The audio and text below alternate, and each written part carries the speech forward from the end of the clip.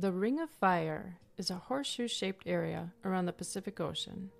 It's home to most of Earth's volcanoes and earthquakes. The region is seismically active because it marks the boundaries where tectonic plates meet. When two plates meet in a subduction zone, the heavier plate sinks into the Earth's molten mantle. When tension from a bending plate releases, earthquakes happen.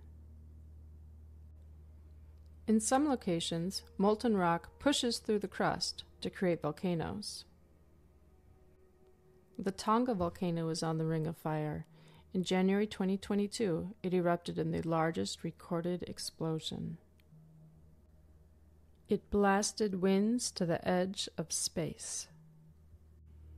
The 9.1 magnitude earthquake in Japan in 2011 was also on the Ring of Fire. The earthquake triggered massive tsunamis. More than 18,000 people died.